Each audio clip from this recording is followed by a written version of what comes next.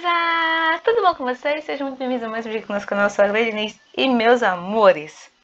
Hoje a gente vai... Onde a gente viu o... a técnica que é utilizada para fazer um padrão de pontos como esse que é usado nessa blusa. Essa blusa faz um tempão que eu mostrei na live aqui no canal. Minha vai começar a miar, já também vou, mas eu não vou parar de gravação. Então já, pelo menos se você deixa o like, se inscreve, compartilha, clica no sininho de notificações e tem muita coisa boa. Ontem a gente viu a técnica que é utilizada para a confecção desse padrão de pontos. Ah, como mais ou menos você vai trabalhar para conseguir executar um padrão de pontos nesse estilo.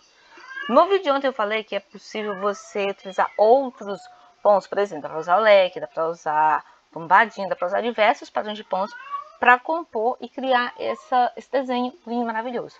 Hoje a gente vai aprender a fazer esse desenho que está aqui na tela para vocês. É, essa blusa é muito simples de ser feita. É legal para você aproveitar todas as sobras de linha que você tiver em casa. Porque é uma peça super colorida, super divertida, super tendência, né? Dá para usar com diversos outros elementos. Dá para fazer todo de uma cor só, dá para transformar no vestido. Dá para você soltar a imaginação e confeccionar como se sentir mais à vontade. Eu falei para algumas pessoas que lá no meu Pinterest tinha muitas fotos de gráficos, de gráficos dessa técnica. E muita gente me procurou falando, olha, Glória, faz esse daqui.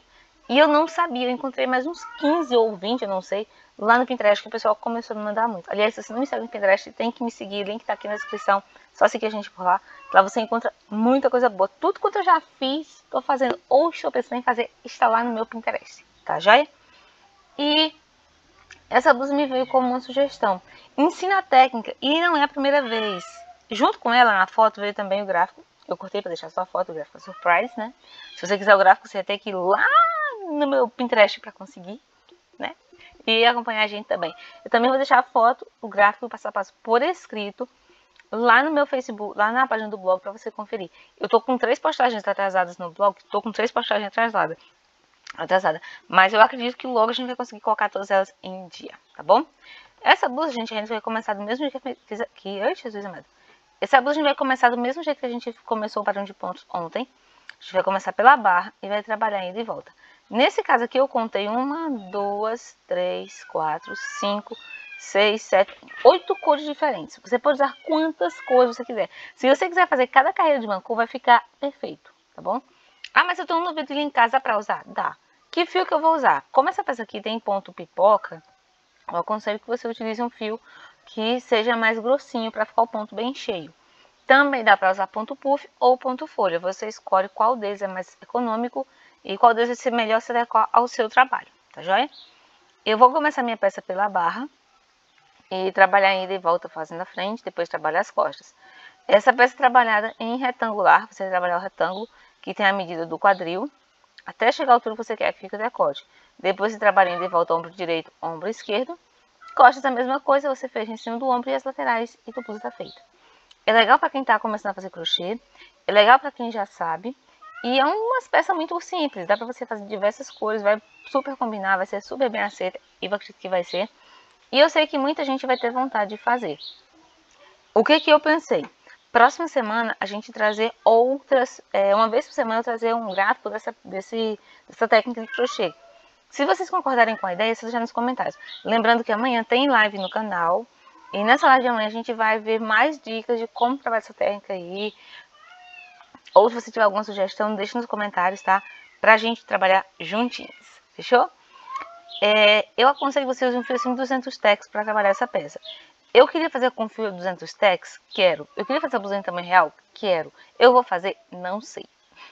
Porque assim, gente, para fazer essa peça para o meu tamanho, eu queria fazer para mim, né? Não era só para o canal não, eu queria fazer para mim mesmo essa blusa, que eu achei muito bonita. Eu levaria mais tempo para execução.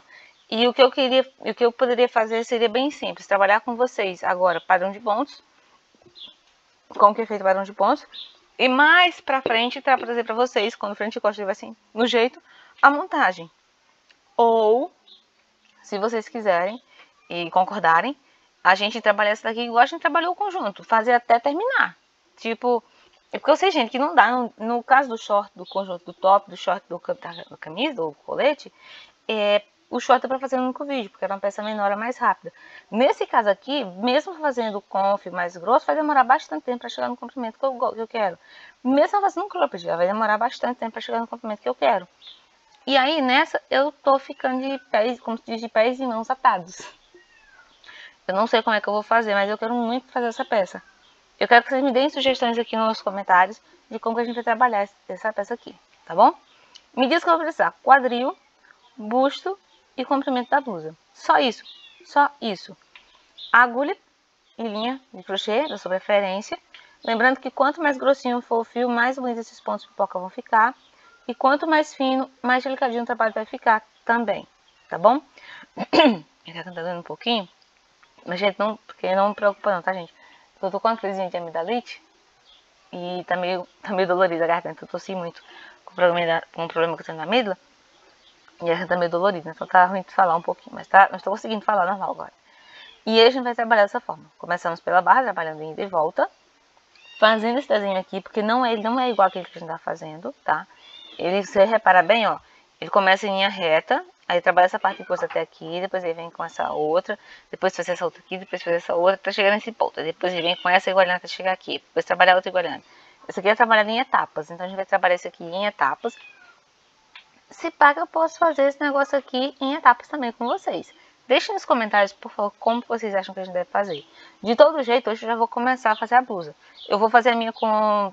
Deixa eu ver, acho que eu vou fazer com duas ou três coisas, não sei o certo ainda. Vou ver quais são as coisas que eu tenho em casa que dá pra fazer. Eu gostaria de fazer pra mim, né? Então, vamos ver, né? Gente, eu tô muito animada pra execução.